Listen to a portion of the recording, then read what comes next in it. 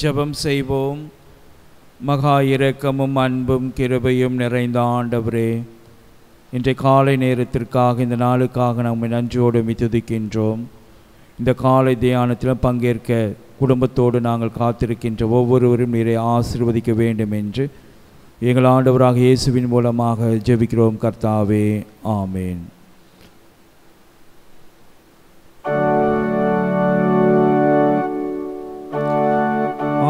ஆத்துமமே என் முழு உள்ளமேவோ நாண்டவரை தொழுதேற்று ஏனால் நாள் வரை அன்புமை தாதரித்த? ஓ நாண்டவரை தொழுதேற்று போற்றிடும் வானோர் பூதலத்துள்ளோ?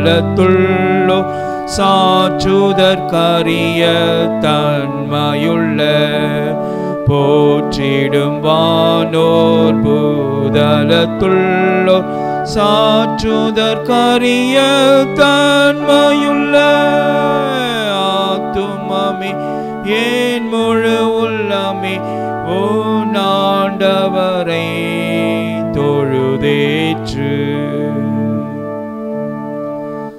வாசிக்கும்படியாக தெரிந்து கொள்ளப்பட்ட வேத பாடம் யாத்ராகாமம் பத்தொன்பதாம் அதிகாரம் ஒன்று முதல் ஆறு வசனங்கள். Reading is taken from Exodus chapter nineteen verses one to six இஸ்ரவேல் புத்திரர் எகிப்து தேசத்திலிருந்து புறப்பட்ட மூன்றாம் நாளம் முதலாம் நாளிலே சீனாய் வனாந்திரத்தில் சேர்ந்தார்கள். அவர்கள் ரெவீதில் மிலிருந்து பிரயாணப்பட்டு சீனாய் வனாந்திரத்தில் சேர்ந்து அந்த வனாந்திரத்தில் பாளையம் இறங்கினார்கள். இஸ்ரேவேலர் அங்கே மலைக்கு எதிராக பாளையம் இறங்கினார்கள். மோசே தேவனிடத்திற்கு ஏறிப்போனான். கர்த்தர் மலையிலிருந்து அவனை கூப்பிட்டு நீ யாக்கோபு வம்சத்தாருக்கு சொல்லவும் இஸ்ரவேல் புத்திரருக்கு அறிவிக்கவும் வேண்டியது என்னவென்றால் நான் எகிப்தியருக்கு செய்ததையும் நான் உங்களை கழுகளுடைய செட்டைகளின் மேல் சுமந்து உங்களை என் அண்டையில் சேர்த்து கொண்டதையும் நீங்கள் கண்டிருக்கிறீர்கள். இப்பொழுது நீங்கள் என் வாக்கை உள்ளபடி கேட்டு என் உடன்படிக்கையை கற்கொள்வீர்களானால் சகல ஜனங்களிலும் நீங்களே எனக்கு சொந்த சம்பந்தமாயிருப்பீர்கள். பூமியெல்லாம் என்னுடையது. நாங்கள் நீங்கள் எனக்கு ஆசாரிய ராஜ்யமும் பரிசுத்த ஜாதியுமாய் இருப்பீர்கள் என்று நீ இஸ்ரேல் புத்திரரோட சொல்ல வேண்டிய வார்த்தைகள் என்றார். பாடம் முடிந்தது. தேவனுக்கு ஸ்தோத்திரம் உண்டாவதாக. ஆமென்.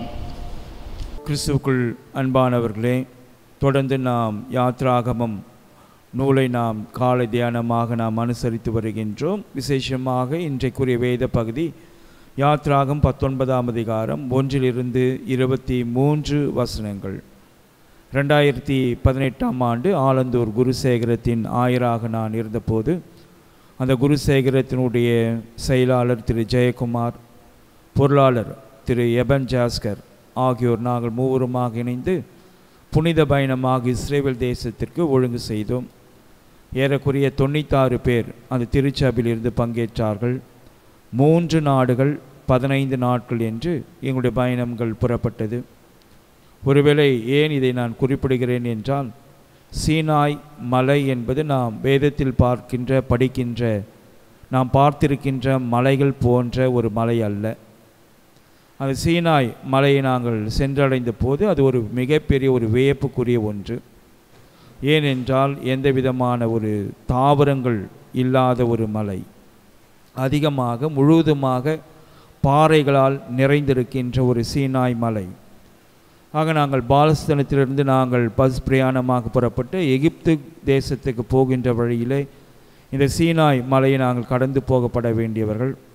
ஆக அப்படிப்பட்ட அந்த மலை அடிவாரத்தில் நாங்கள் ஒரு சில மணி நேரங்கள் நாங்கள் தங்கியிருக்கும்படியான ஒரு பெரும் வாய்ப்பு கிடைத்தது.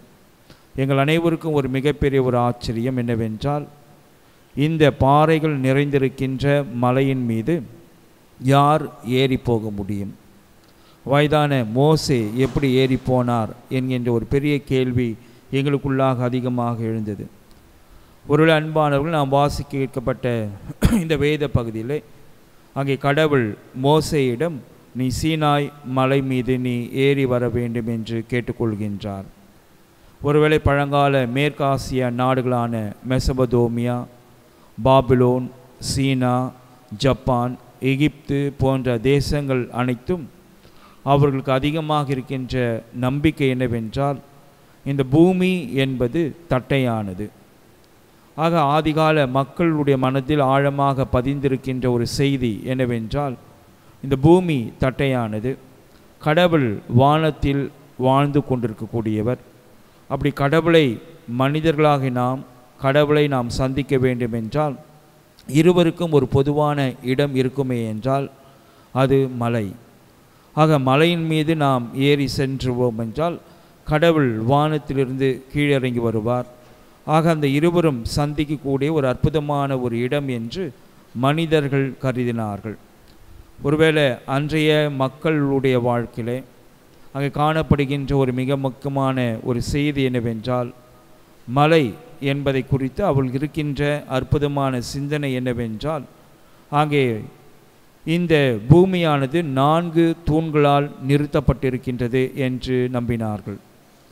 பூமியானது தட்டையானது. ஒருவேளை இந்த தட்டையாக இருக்கின்ற பூமியை நாம் கடந்து போக முயற்சிப்போம் என்றால் நாம் கீழே விழுந்து விடுவோம். ஆக மான்ஸ்டார் என்கின்ற விலங்கானது நம்மை விழுங்கி விடலாம் என்று மக்கள் அதிகமாக நம்பினார்கள். ஆக அப்படிப்பட்ட ஒரு எண்ணம் மக்களுக்கு அதிகமாக இருந்ததினாலே இந்த பூமி என்பது தட்டையானது என்பதை அதிகமாக அவர் நம்பினார்கள்.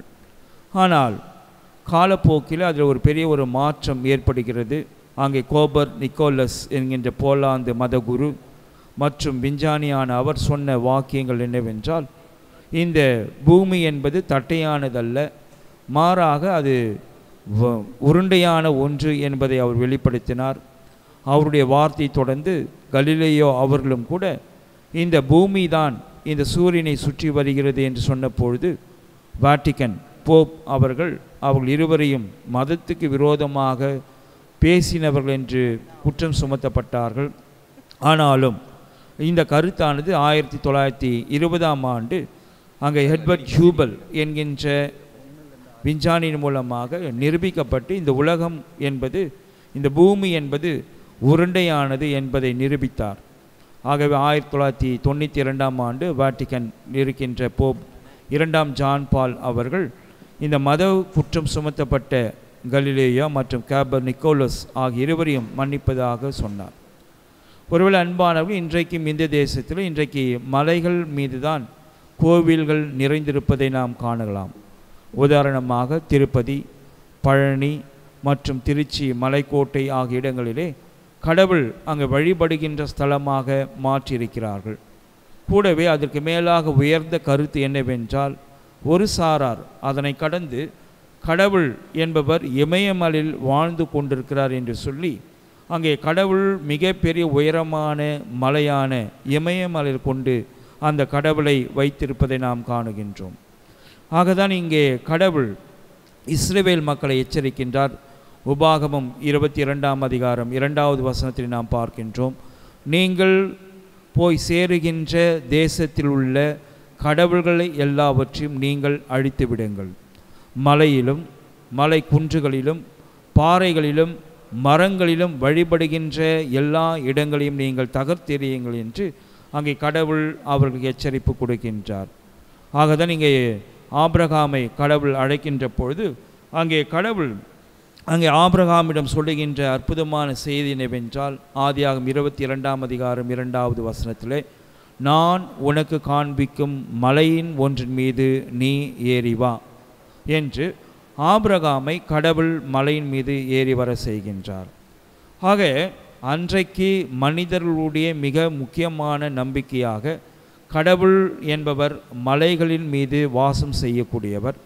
அப்படிப்பட்ட அந்த கடவுளை மலைகளின் மீது தான் சந்திக்க வேண்டும் என்று விரும்பக்கூடியவர்களாக இருந்தபடியினாலே இங்கே யாவேயும் கூட தன்னை கடவுள் என்பவராக மாத்திரமல்ல மலைகளிலும் காட்சியளிக்கக்கூடியவராக மாறியிருந்தார். ஆகவேதான் யோவான் நான்காம் அதிகாரம் இருபதாவது வசனத்திலே நாம் பார்க்கின்றோம். அங்கே இருக்கின்ற அந்த சமாரிய ஸ்திரியானவர் சொல்லுகின்றார் எங்கள் முன்னோர்கள் இந்த மலைகளின் மீதுதான் வழிபட்டு வந்தார்கள். எங்களுடைய முன்னோர்கள் இந்த மலைகளின் மீதுதான் வழிபட்டு வந்தார்கள். ஆனால் நீங்களோ எருசலேமில் வழிபட வேண்டும் என்று சொல்லுகிறீர்களே. ஆக அன்றைக்கு இருந்த ஆபரகாம் ஈசாக் யாக்கோபனுடைய சந்ததியின் வழி வந்த எல்லா இஸ்ரேவேல் மக்களும் மலைகளிலே வழிபட்டு வந்தார்கள். அது அவர்களுடைய பாரம்பரியமான ஒரு நம்பிக்கைக்குரிய ஒரு இடமாக இருந்ததை நாம் காணுகின்றோம். ஆனால் கடவுள் எப்பொழுதுமே மலைகளை தெரிந்து கொண்டு தன்னை காட்சி அளிக்கக்கூடியவர் அல்ல. ஆகதான் அந்த கடவுளுக்கு எல் ஷதாய் என்று மக்கள் பெயரிட்டு அழைத்தார்கள். ஏனென்றால் அவர் மலைகளின் கடவுள் என்று அழைக்கப்படக்கூடியவர். இங்கே ஒன்று ராஜாக்கள் இருபதாம் அதிகாரத்தில் அங்கே நாம் சீரிய அரசனாகிய பெனத்தாத்தை நாம் குறித்து நாம் பார்க்கின்றோம். பெனத்தாத் தன்னுடைய படைகளோடு கூட இஸ்ரேவேல் மக்களை எதிர்த்து போரிட வருகின்றார். அவர்கள் பாலை நிலத்திலே சண்டை போடுகிறார்கள். சீரியா தோற்று போகின்றது. ஆனால் சீரியாவினுடைய அரசனானவன் சண்டையிடுவதற்காக ஒரு இடத்தை தெரிந்து கொள்ளுகின்றான். அது என்னவென்றால் மலைகள் மீது சண்டை போட போகின்ற பொழுது நம்முடைய கடவுள் நமக்கு உதவி செய்வார் என்று பெனதாத் அதிகமாக நம்புகின்றான். ஆனால் நடந்ததே வேறு. அங்கே சீரியா அரசு படைகள் அனைத்தும் தோற்று போனது. அப்பொழுது அங்கே இருக்கின்ற ஒரு படை வீரன் சொல்லுகின்ற செய்தி என்னவென்றால் அங்கே ஒன்று ராஜாக்கள் இருபதாம் அதிகாரம் இருபத்தி மூன்றாவது வருஷத்தில் நாம் பார்க்கின்றோம். இஸ்ரேவேலின் கடவுள் மலைகளின் கடவுள் என்று அவர் அழைக்கப்படக்கூடியவர். ஒருவேளை அன்பானவர்கள் இன்றைக்கு நீங்களும் நானும் கடவுள் எங்கெங்கெல்லாம் வழிபடலாம் என்று இன்றைய மதங்கள் ஒரு குறிப்பிட்ட ஸ்தலங்களை அவர்கள் நியமித்திருக்கின்ற பொழுது அங்கே இயேசுவானவர் யோவான் நான்காம் அதிகாரத்தில் நாம் குறிப்பிடுகின்ற அந்த அற்புதமான செய்தி என்னவென்றால் அந்த சமாரிய ஸ்திரீ சொல்லுகின்றால் அவர் சொல்லுகின்ற செய்தி எங்களுடைய முன்னோர்கள் இந்த மலையில் தான் வழிபட்டு வந்தார்கள். நீங்களோ எருசலேமில் வழிபட வேண்டும் என்று சொல்லுகிறீர்கள். ஆனால் இயேசுவானவர் தந்த பதில் என்னவென்றால் கடவுள் உருவமற்றவர் அவரை உண்மையோடு தேடுகின்றவர்கள் அவருடைய உண்மை இயல்புக்கேற்பாக தன்னுடைய உள்ளத்திலே தேடுவார்கள் என்று ஒரு புதுமையான ஒரு விளக்கத்தை தரக்கூடியவராக இருக்கின்றார். ஒருவேளை அன்பானவர்கள் இன்றைக்கு நாம் கொரோனா வைரஸ் தொற்று நோயின் மூலமாக நம்முடைய புனித இடங்களான தேவாலயங்களுக்கும் மற்ற இடங்களுக்கு செல்ல முடியாத ஒரு சூழ்நிலையில் நாம் இருக்கின்றோம். கடவுளை நாம் தேவாலயத்தில் தேடுகின்ற பிள்ளைகளாகவே நம்முடைய சடங்காச்சாரங்கள் மாற்றியிருக்கின்ற பொழுது நம்முடைய இடமே ஒரு புனித இடமாக ஆலயமாக மாறுகிறதாக தான் அப்போஸ் நாயக பவுல் சொல்லுகின்றார். நீங்களே தேவனுடைய ஆலயமாக இருக்கிறீர்கள். ஒரு அன்பானவர்கள் தாவித அரசர் ஒரு அற்புதமானது ஒரு செய்தியை அங்கே சொல்லுகின்றவராக இருக்கின்றார். நூற்றி இருபத்தி ஓராவது சங்கீதத்தில் நாம் காணுகின்றோம். நான் என் கண்களை மலைகளை நோக்கியே உயர்த்துகின்றேன். இது அவருடைய நம்பிக்கை. என்ன நம்பிக்கை? இஸ்ரேவேல் மக்களுக்கு அன்றைக்கு இருந்த ஒரு நம்பிக்கை மலைகளில் தான் கடவுள் வசிக்கின்றார். ஆகவே அவர் சொல்லுகின்ற செய்தி என் கண்களை என்னுடைய மலைகளுக்கு நேராக உயர்த்துகின்றேன். ஆனால் எங்கிருந்து எனக்கு உதவி வரும்? இந்த விண்ணையும் மண்ணையும் உண்டாக்கின ஆண்டவரிடமிருந்தே எனக்கு உதவி வரும் என்று சொல்லி இன்று எல்லா மதங்களினுடைய தவறான நம்பிக்கைகளுக்கும் அங்கே தாவிதரசர் ஒரு முழுமையான ஒரு வெளிப்படுத்துதலை காண முடியும் ஆகவே அன்றைக்கு இருந்த மக்கள் மலைகளில் தான் கடவுள் இருக்கிறார் என்று சொன்னபொழுது தாவிதரசர் சொல்லுகின்றார் மலைகளை நான் உயர்த்தி பார்க்கின்றேன் ஆனால் மலைகள் எனக்கு உதவி செய்ய போவதில்லை. மாறாக இந்த விண்ணையும் மண்ணையும் படைத்த ஆண்டவரே எனக்கு உதவி செய்வார். ஒரு அன்பானவர் இன்றைய காலை நேரத்திலும் இந்த காலை தியானத்தின் மூலமாக பங்கேற்றிருக்கின்ற உங்கள் ஒவ்வொருவரையும் உங்களுடைய தேவைகளையும் கடவுள் நிச்சயமாக அறிந்தவராக இருக்கின்றார். இன்றைக்கு சடங்காச்சாரங்கள் நிறைந்திருக்கின்ற இந்த உலகத்திலே இன்றைக்கு ஒவ்வொரு தேவாலயங்களுக்கு நாம் சென்று நாம் அதற்குரிய மதிப்புக்குரிய சடங்குகள் செய்தால் மாத்திரமே கடவுள் நம்முடைய ஜெபத்தை கேட்பார் என்று நம்புகின்ற விசுவாசிகள் மத்தியிலே. இங்கே இயேசுவானவர் மாத்திரமல்ல அங்கே தாவித அரசரும் அற்புதமானது ஒரு செய்தி சொல்லுகின்றார்.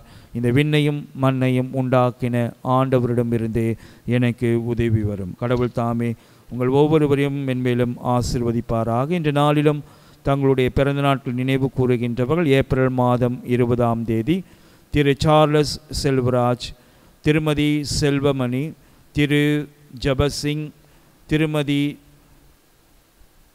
அனிதா ஜாய் திருமதி அன்னாள் ஆனந்தி திரு ரமேஷ் பாபு திருமதி திவ்ய சஞ்சய் ஆகியோர் தங்களுடைய பிறந்த நாட்களை நினைவு கூறுகின்றார்கள். அவர்களுக்காக நாம் ஜெபம் செய்வோம்.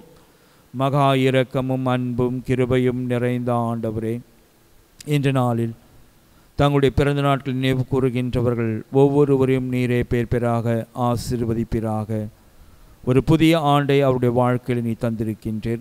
நிறைவான ஆசீர்வாதங்களை அனுதினம் தாரும். கடவுள் தாமே இவ்வேளிலே இந்த நாளிலும் இந்த காணொலியின் மூலமாக தியானத்தில் கலந்து கொண்டிருக்கின்ற உடைய அடியார்கள் ஒவ்வொருவரையும் நீரை ஆசீர்வதிப்பீராக. சுகவீனங்கள் மத்தியில் இருக்கின்ற திருமதி ஜூலியட்டுக்காக நாங்கள் ஜெபிக்கின்றோம். அவனமாக திருமதி பத்மா அவர்களுக்காக நாங்கள் ஜெபிக்கின்றோம்.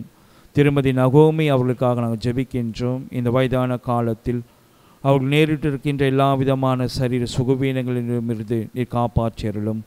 இன்று உலகம் முழுவதுமாக கொரோனா வைரஸ் தொற்று நோயின் மூலமாக உயிரிழந்திருப்பதற்காக நாங்கள் ஜெபிக்கின்றோம். அன்பு நிறைந்த ஆண்டவர் தாமே இந்த இக்கட்டான ஒரு நிலைமையிலும் நாங்கள் மிகுந்த மன ரம்மியத்தோடும் மகிழ்ச்சியோடும் சந்தோஷத்தோடும் சமாதானத்தோடும் நாங்கள் எங்கள் குறிக்கப்பட்டிருக்கிற நாட்களை கடந்து போக இறைவா அருள் தாரும். வருகின்ற மே மாதம் பத்தாம் தேதி அன்று எங்களுடைய வழிபாடுகள் நடைபெறுவதற்கான வாய்ப்புகள் எங்களுக்கு நீர் உருவாக்கி தாரும். அன்றைய நாளும் மிகுந்த மகிழ்ச்சியோடு கடவுளை இந்த ஆறுதல் பங்கேற்று உமக்கு நன்றி பகிரக்கூடியவர்களாக சாட்சிகளை பகிரக்கூடியவர்களாக இருக்க இறைவனை அருள் புரிய வேண்டும் என்று இயேசுவின் மூலமாக ஜெபிக்கிறோம் கர்த்தாவே. ஆமே நம்முடைய ஆண்டவராக இயேசு கிருஷ்ணனுடைய கிருபையும் பிதாவாக தேவனுடைய அன்பும் தூய் ஆவியானவருடைய வழிநடத்துதல் நம் அனைவரோடும் இன்றும் என்றும் சதா காலங்களிலும் நிலைத்திருப்பதாக. ஆமேன்.